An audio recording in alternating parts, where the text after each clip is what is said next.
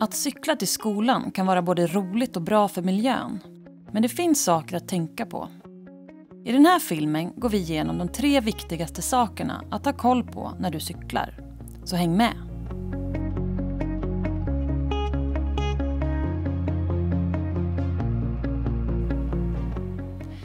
Det finns faror som är svåra att se när du cyklar. Till exempel, när du närmar dig en korsning kan en bil plötsligt komma fram bakom ett buskage. Var alltid uppmärksam på vad som händer runt omkring dig och var redo för överraskningar.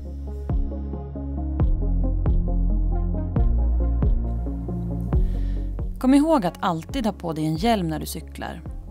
Hjälmen ska sitta ordentligt fast under hakan och vara i rätt storlek. Tänk på att olyckor kan hända vem som helst när de cyklar.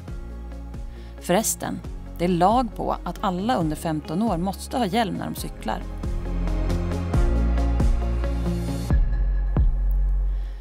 Cykla alltid på cykelvägar om det finns. Annars, leta efter lugna vägar med få bilar på väg till skolan eller träningen. Du ska hålla höger på den väg du cyklar men om du möter någon som går, sväng ut mot mitten av vägen.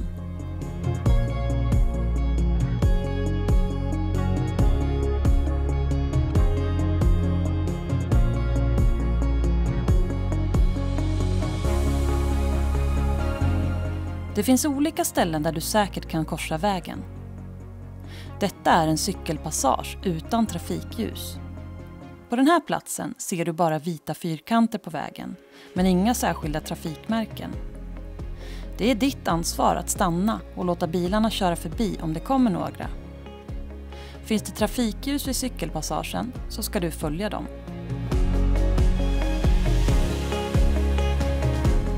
Detta är en cykelöverfart som har vita fyrkanter på vägen bredvid övergångsstället och dessutom ett särskilt vägmärke. I vissa fall är cykelöverfarten upphöjd. Här får du cykla över och bilarna bör stanna för dig. Men titta noga och få ögonkontakt med föraren för alla känner inte till reglerna.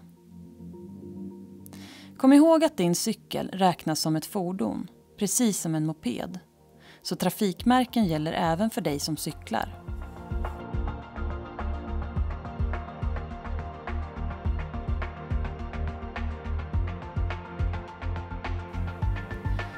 Ibland behöver du korsa en väg.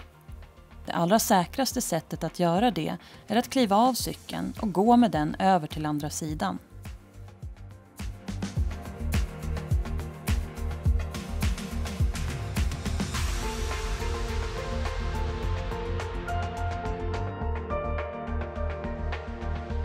Även vid ett vanligt övergångsställe bör du leda cykeln.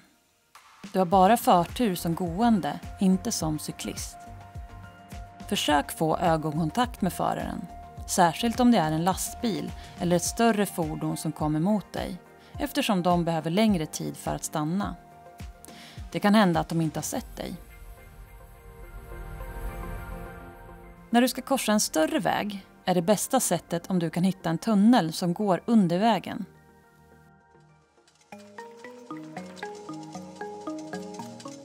Det finns något riktigt farligt i trafiken som kallas döda vinkeln. Det är nästan det läskigaste. För det är där de allvarligaste olyckorna kan hända om man inte är medveten om det.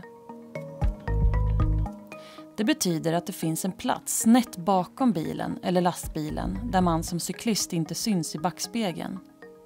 Du syns inte i varken backspegeln eller sidospeglarna för den som kör fordonet. Det är extra farligt med lastbilar och bussar Trots deras stora sidospeglar syns du inte. Om fordonet svänger höger och du är precis bredvid kan du bli överkörd. Hur kan man då undvika detta? Jo, vid en korsning där du ska cykla rakt fram och bilarna ska svänga höger ska du antingen placera dig rakt framför bilen eller rakt bakom. Aldrig vid sidan om. Speciellt bussar eller lastbilar som svänger är extra farliga.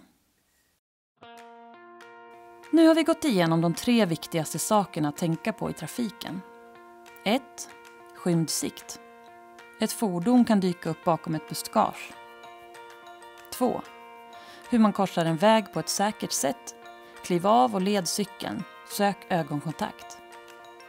3. Den farliga döda vinkeln.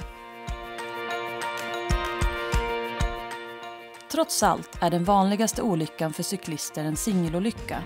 Det vill säga olyckor där inget annat fordon är inblandat. Håll koll på is, halka, grus och annat som kan vara farligt. Mobiltelefonen ska stanna i fickan och uppmärksamheten ska vara på vägen. Kom också ihåg att inte leka när du är ute och cyklar i trafiken. Allt vi har pratat om nu gäller också för dig som kör elsparkcykel eftersom den räknas som en cykel. Så kom ihåg att följa samma regler och vara lika försiktig när du kör en elsparkcykel i trafiken. Ha en trevlig och säker cykeltur. Kom ihåg allt vi pratat om och njut av din cykelfärd.